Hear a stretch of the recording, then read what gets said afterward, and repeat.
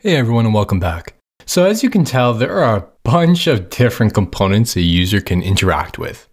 And maintaining those components is pretty crucial for any project. And this is generally a large task. So you want to set aside a lot of time to do something like this, especially if you're creating something like a design system or if you're just creating a bunch of different variants of inputs because, you know, inputs can be the most complex UI elements that we deal with.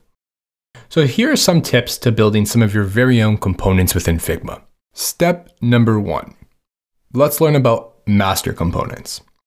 So when we create inputs within Figma, remember we need to adhere to our base unit.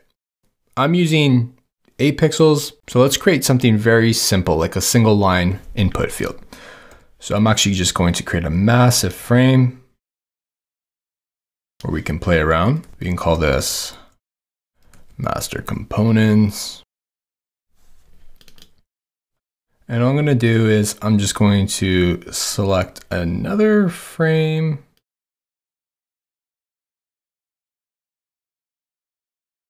And this is going to be my input field.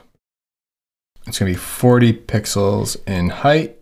It's going to have a border radius of 5 pixels.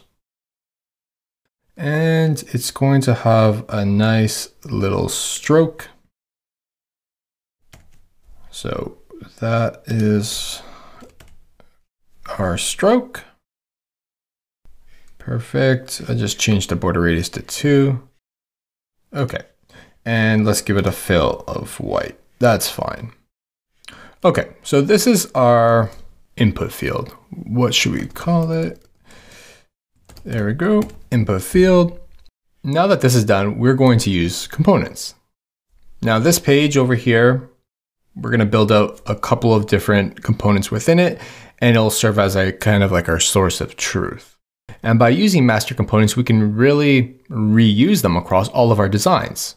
So let's turn this input into a component. So to turn it into a component, you can right click and create a component, or you can use the quick shortcut, which is Option Command K. So now you'll notice it's a component. If I uh, go back and press Command Z, you can also create a component up there. Now it's a component, which is pretty awesome. Let's copy it somewhere. So I'm going to copy it right here.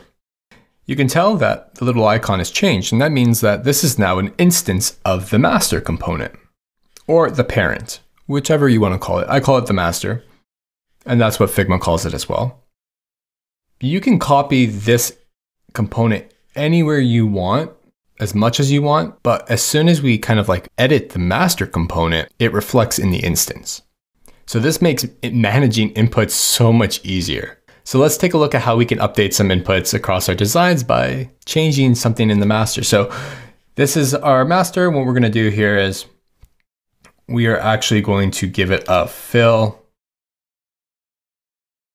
of like a very light gray. And you can tell that it's changing there.